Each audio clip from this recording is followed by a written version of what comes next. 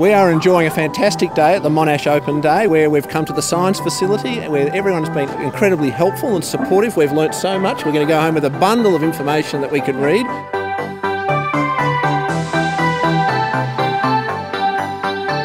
It's incredible how much this place has changed.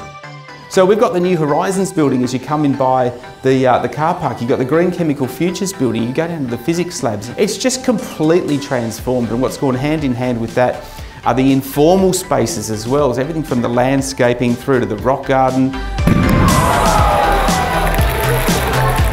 Welcome everyone to the Monash Earth Sciences Garden. If you look over this way, we're looking east across Victoria. Behind us is the Earth Sciences building to the north, and then to the west, we're looking across to Western Victoria and the Western Volcanics on the far side. Just to see what courses would suit me in the future, because I'm still not sure about what to do yet.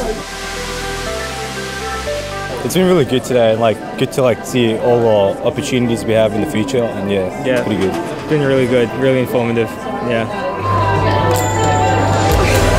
It really is one of the best science precincts in the world and as an academic I have the pleasure of, of seeing a lot of science precincts. So it's a pretty exciting place to be. There's usually a few brochures from each um, course area and uh, they're well presented, very easy to read, all the information is necessary, ATARs, subject selection and course description, the length of the course.